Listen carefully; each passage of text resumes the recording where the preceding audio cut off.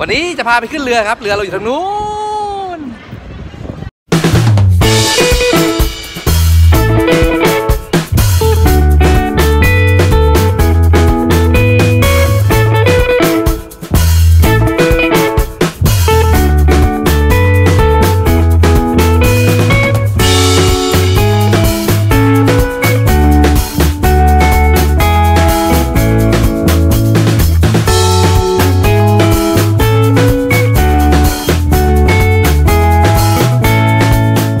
ากรู้กันแน่เลยว่าเรือลำนี้เบื้องหลังเรือดีๆแบบนี้ใครอยู่เบื้องหลังครับ แอบแวะไปดูแป๊บนึงฮะหน้าคุ้นๆไหมครับ และเพื่อนๆสามารถกดติดตามช่องผมจากปุ่มติดตามครับ หรือปุ่ม subscribe แบบนี้ฮะและอย่าลืมกดกระดิ่งครับ จะได้ไม่พลาดคลิปใหม่ๆที่ลงทุกวันศุกร์วันเสาร์และยังมีคลิปพิเศษเกือบทุกวันเลย เวลา2ทุ่มตรง อ่ากลับมาอีกแล้วครับ กับ The Baby Boom กรุ๊ปทุซุมอันซีนครับถ่ายชิมอิมดำครับ วันนี้ครูบูมสอนดำน้ำพาเที่ยวชมเรือโมฮาน่าครับ จะดูว่าเรือลำนี้เรือโมฮาน่าลำนี้นะครับ เป็นเรือลิเวอร์บอร์ดนะครับลำหนึ่งในเมืองไทยเลยที่น่ามาใช้บริการมาก ๆ เดี๋ยววันนี้ผมจะพาเพื่อน ๆ ครับ ไปชมเรือโมฮาน่าลำนี้ครับ ว่าน่ามาใช้บริการมากแค่ไหนครับ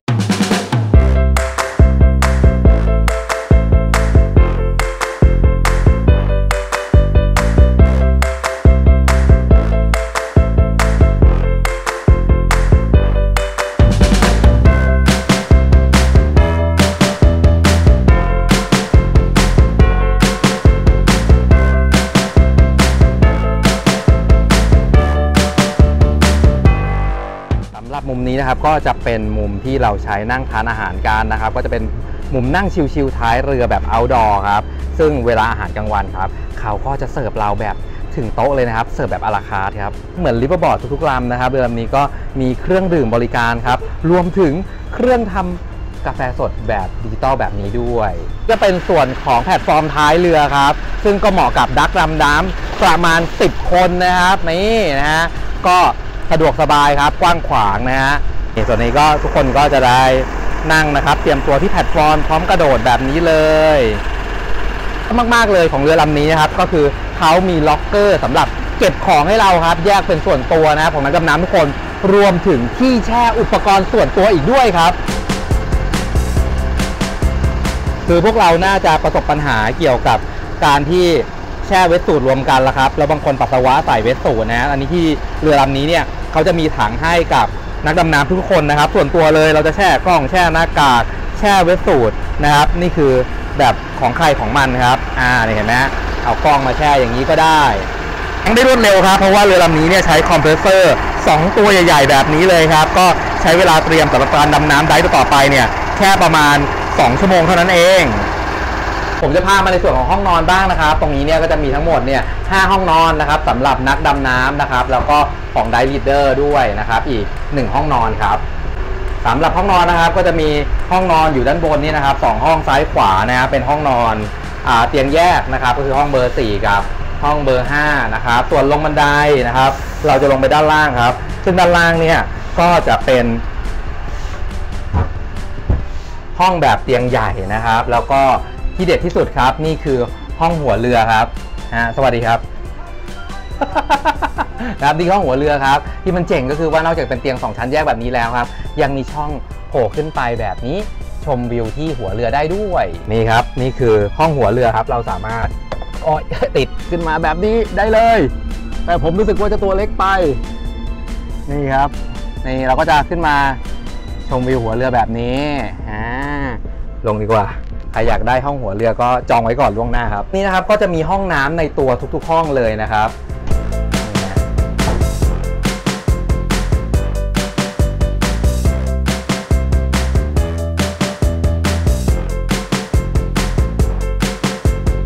อ่าแล้วห้องที่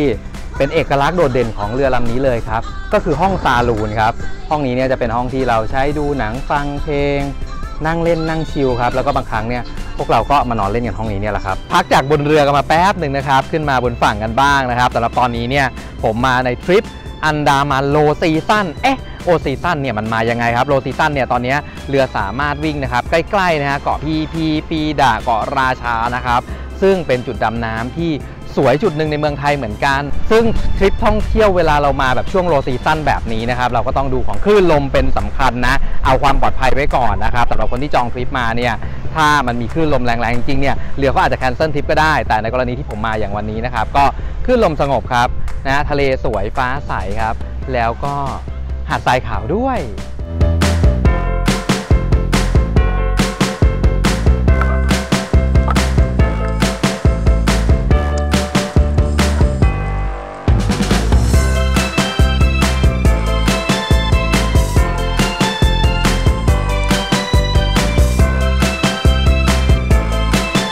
ดังนั้นครับวันนี้ผมจะให้เพื่อนๆมารู้จักกับ dive operator ของเรือลำนี้อย่างเป็นทางการครับ พี่หมีของเรานั่นเอง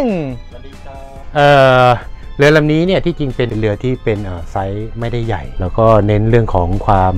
เป็นส่วนตัวนะเอ่อความสะดวกสบาย เช่นห้องห้องทุกห้องเนี่ยเราจะมีเป็นเอ่อเป็นห้องน้ำในตัว ของเราจะไม่มีไม่มีบุฟเฟต์เลยนะฮะเป็นอาหารเสิร์ฟทุกมื้อเอ่อ ข้อดีของการที่เราเราดำน้ำในที่เป็นกลุ่มย่อยเล็กๆเนี่ยความคล่องตัวความสะดวกสบาย